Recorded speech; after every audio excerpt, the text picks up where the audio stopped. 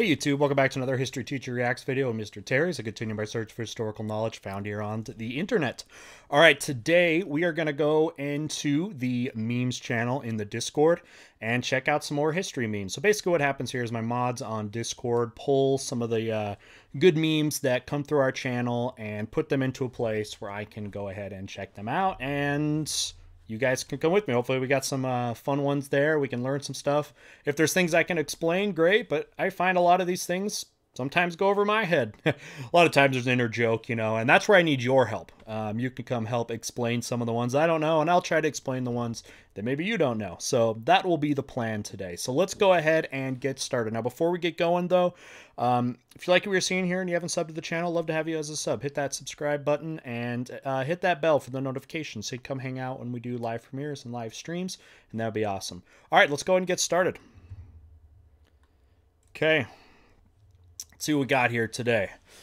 All right, so, oh my gosh, we got a giant unicycle here.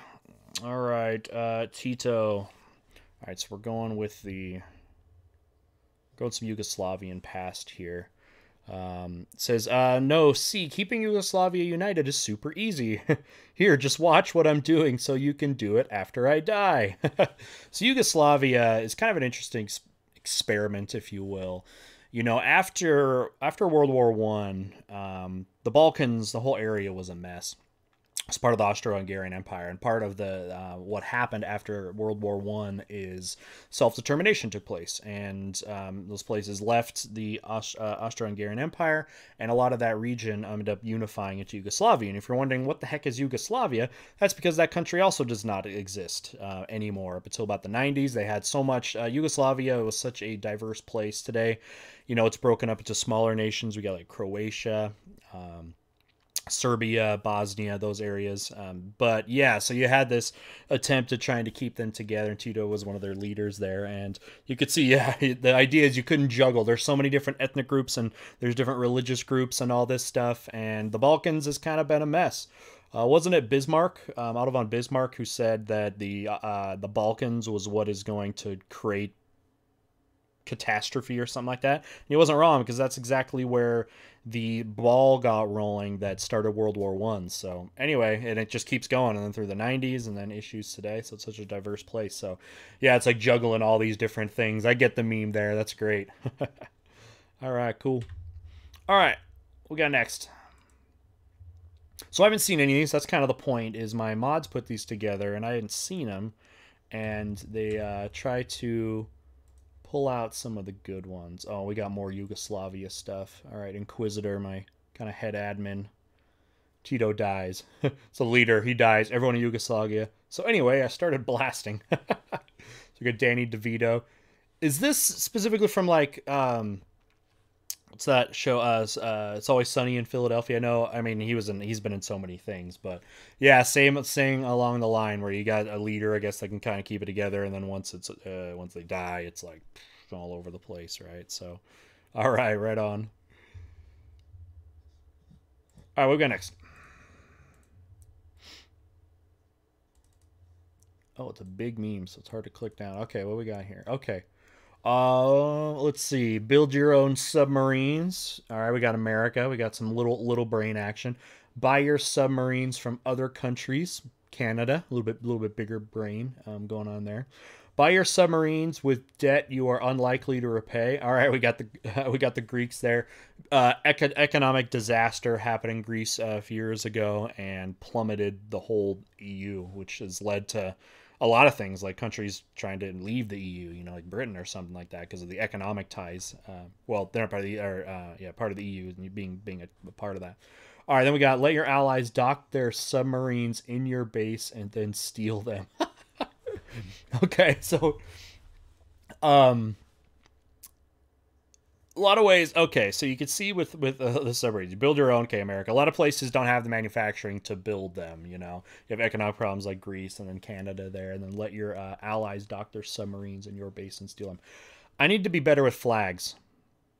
Okay, someone help me here. Um, of what they're referring to specifically, but let your allies dock their submarines in your base and then steal them. That's great. All right, moving on. All right, bald characters are always the most overpowered. All right, we got Thanos, we got Mussolini, we got Shrek, and then we got Dr. Phil. Very, very nice.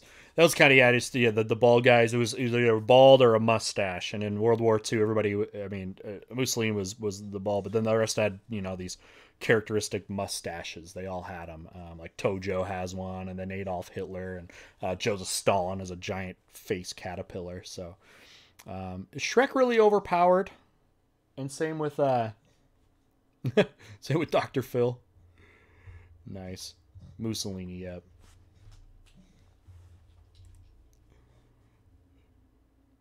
Good stuff. Don't trust someone that's bald. Yikes. All right. Okay, draw a card for every battle where you were outnumbered but still won. Admiral Yi. okay, so that happened. Uh, if you don't know the Admiral your uh, Admiral Yi story, check out the extra here extra histories mini series. I did a um, a reaction video to that too if you want to see that. But Admiral Yi was a um, a Korean admiral.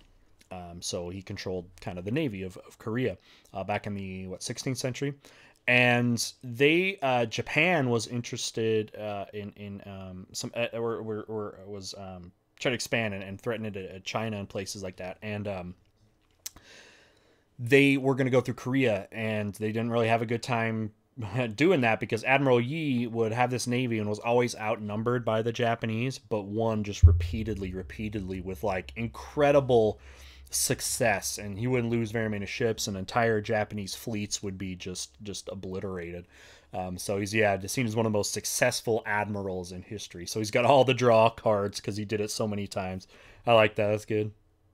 Good work good work okay what do we got here the history channel at 3 a.m november 1945 the nuremberg trial you got a very uh, depressed and haggard looking uh, Thomas the Train Engine, as did all the Nazis on this. The Nuremberg trial was the war crimes trial that basically the surviving Nazi leadership were put upon. Um, guys like Hermann Goering. Uh, again, the surviving ones that didn't die or commit suicide and stuff like that. Actually, some did during, um, some actually did during the the trial process in their prison cells. But yeah, it didn't look too good there. We had Nuremberg trial. Then there was a, um, a trial uh, for Japan in Japan for war crimes as well. But the Nuremberg's kind of the big famous one uh, ended up happening there. Something like 20 something ended up going on trial. I think half of them got death penalties, other got prison sentences from life in prison. Some got acquitted. So pretty interesting to see something like that, um, these war crime trials. So, but here we go. Yep. now, why is it? Now, can someone explain me why it's Thomas? Help me out on that one. Again, this this this these type of videos, you help me, I help you. All right, that's that's what we're doing here. Oh gosh, it's too small, but okay. Hopefully you can see this. We got mustard gas in World War One, mustard gas in elementary school acts. All right, so mustard gas was the one of the you know new inventions, sort of of, of um, that came in World War One and was maybe the most feared weapon of all because of its uh, slow, painful death that it, that it gave you there.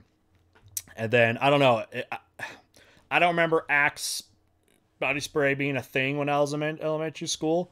But were, is that when like kids were starting to do that, or did, did kids just bring cans of that to like terrorize the other students? You guys help me with that. Is that is that a thing I'm too old for now?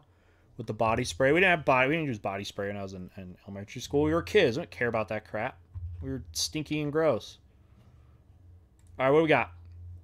All right, Nazi Germany stepping all over the UK and France, even though they lost to the UK, but did defeat France. And then Soviet Union stomps on them. Gotta make sense.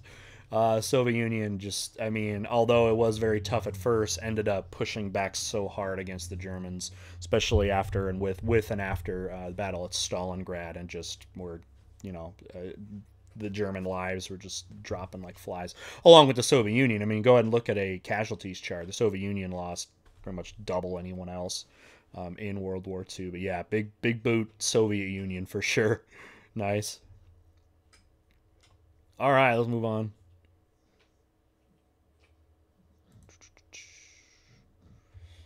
Germany is now playing Heart of Iron 4. Free real estate, Poland. Oh, oh God. Oh no. So Hearts of Iron, the game I get asked to play all the time, but I don't have time to go, unfortunately, into some of those cooler, they look cool long strategy games. I know it's a World War II kind of simulation thing, right?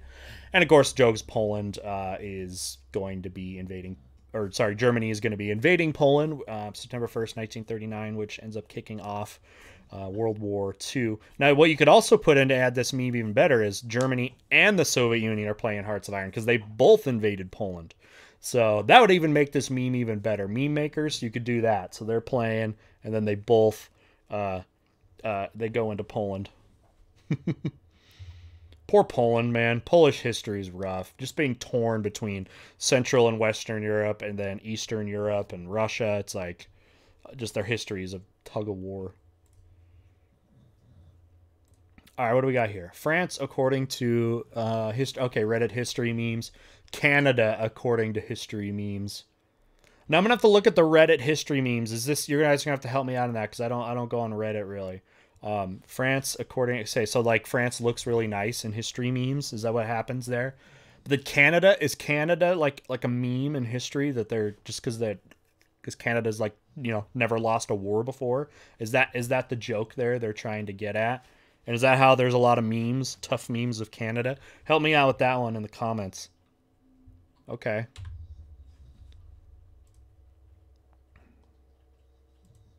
All right, what do we got here? All right, it's kind of smaller there. Let's see. It says Russia, great power.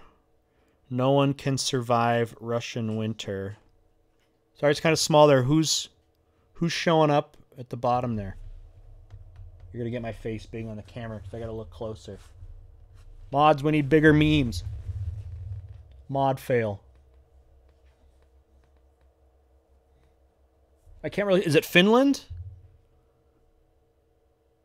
Finland and Norway? Is that the flags going through?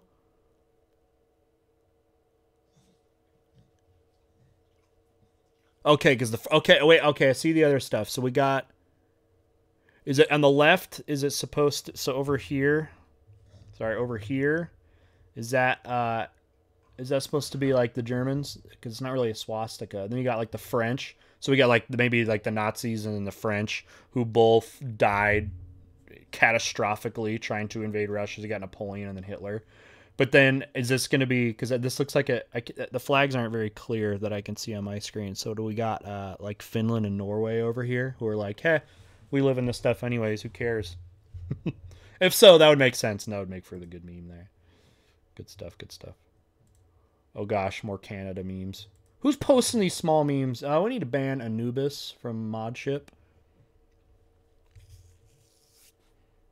Just kidding. All right, Canadians normally and Canadians at war. Okay, so yeah, normal Canadians. All right, so it must be a thing in Reddit where it's just because the Canadians they're known for they've never lost a war before that they are just like yeah, you got like the evil, aggressive looking Thomas there. okay, good stuff.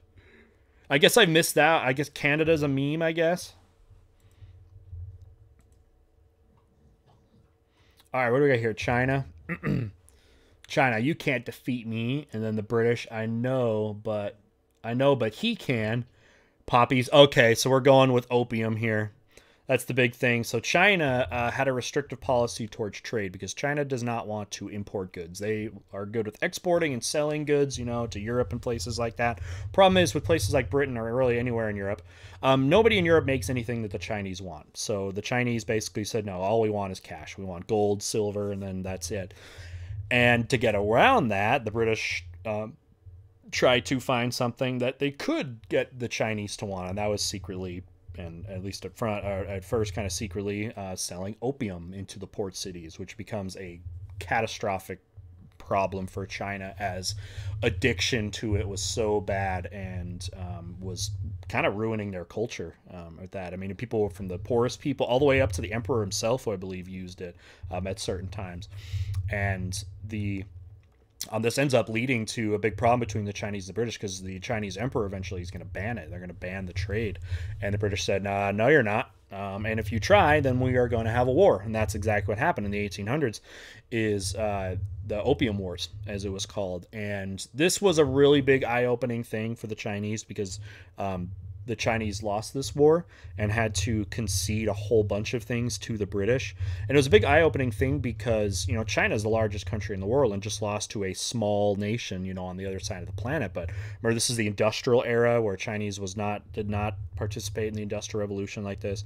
And Britain was able to modernize their military and so, as such that they were over able to overcome massive deficits of, you know, like a population, a small place like Britain versus um, China. And, but won that war and was able to exploit China even further. So, getting the country addicted to opium, which comes from these poppy plants you can see over there, which is uh, where uh, uh, Britain was getting from modern day Afghanistan, and then was selling that over to the Chinese. So, there, um, one of the opium wars is one of the I think most important and interesting wars that does not get talked about enough. Um, look into it if you don't know it. It's pretty pretty uh, interesting. Oh my gosh. Is this a meme for ants, Anubis? Oh, alright, we're going up close. Sorry if you can't see this. Close up on my face. Canada and Denmark are in territorial dispute. Sorry if you can't hear. Over Hans Island. Their war consists of removing the other's con- other country's flag, planting theirs, and leaving a bottle of brandy or whiskey behind. Confused screaming. What, from NATO or something? Oh, I can't see very well. Is that really what happened?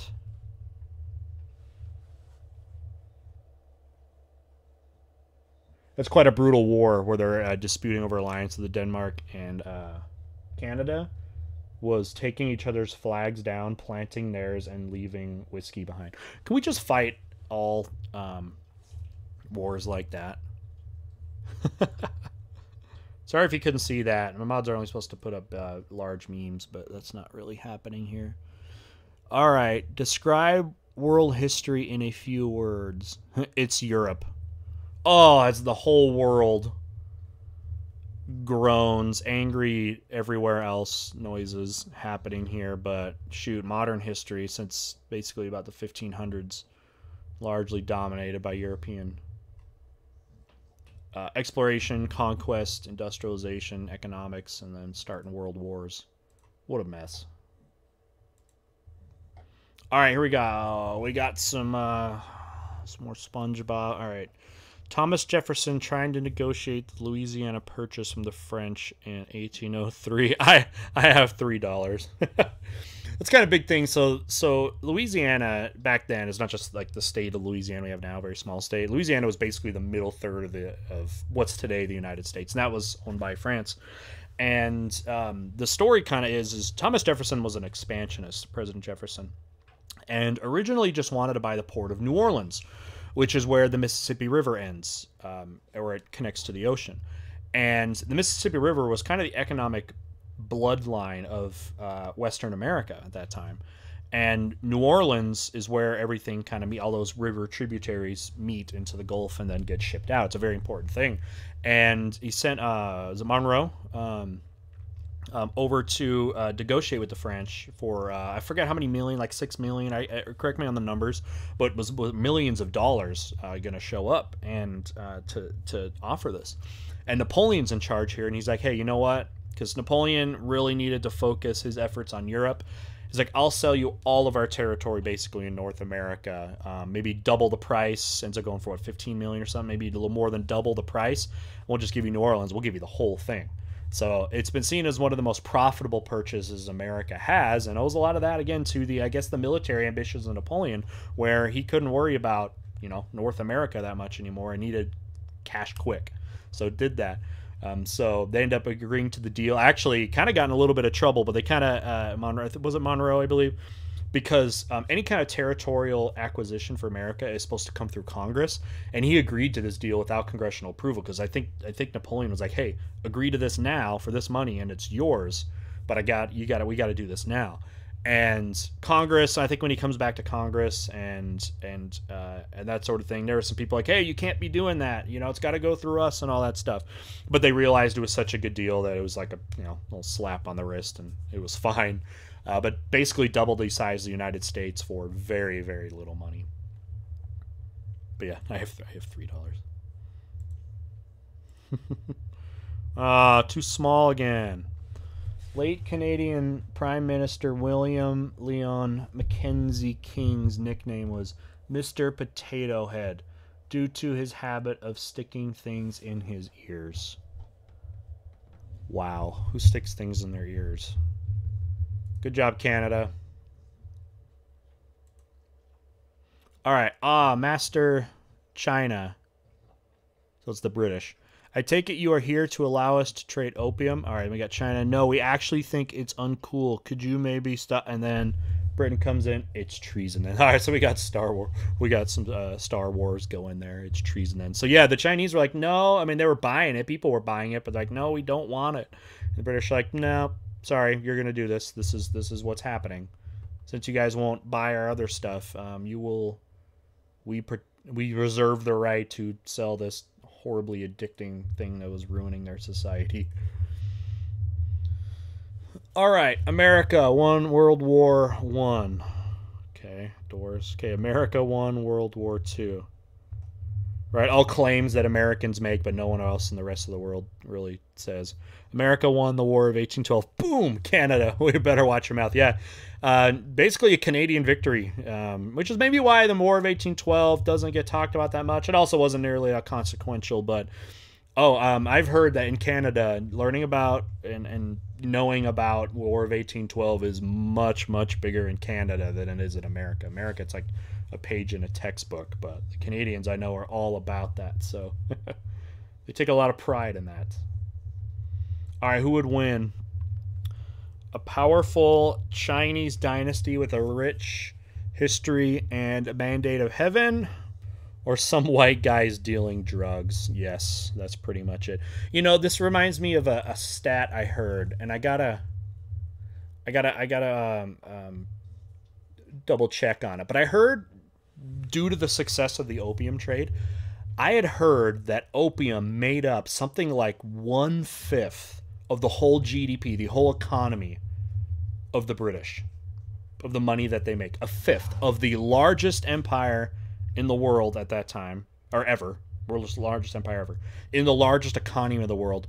Drugs, basically, this opium, drugs, was like one fifth of their entire economy. That's unbelievable, isn't it? To think about that. A nation's income, fifth of their income, the biggest economy in the world, pretty much, for a fifth of it was coming from drugs. Nuts, huh? All right, more British America stuff. What do we got? Has anyone seen Canada? Hold on, I got this. War of 1812. We beat America. uh, burn the White House, which they did. They burned the White House down. Canada, Canadian militia beat or best militia. So it's like Canada doesn't really care, but if like you're going to mention the War of 1812, they're going to come in and, and totally flex on it. So this goes back to what I was saying about how the how apparently how serious the Canadians take it. all right, looks like that's going to do it for us for memes today. That's what's all in uh, in there right now. So awesome! Thank you, thank you, thank you. Got some good ones there. We definitely had the uh, the kind of a lot of stuff with the British and the Opium Wars, and then Canada, a lot of that stuff. So that's that's all good and true.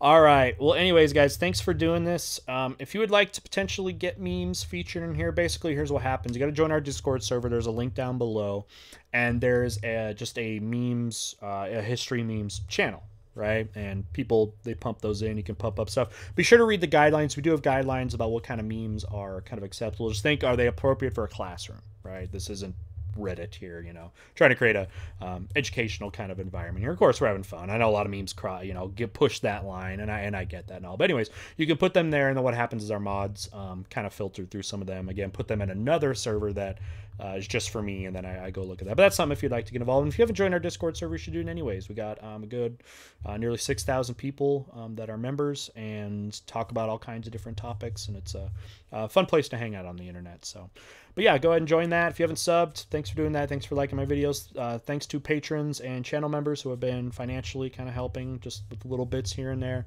Really appreciate what you do. But thanks um, just for being here, even if it's just for looking at the memes. Maybe that's the only thing you join my channel for. But if you are appreciating anything with history, I think it's a good thing. And uh, history education is so important, and being a part of that in a small way is very, very appreciated. All right, with that, we'll see you guys next time, and bye.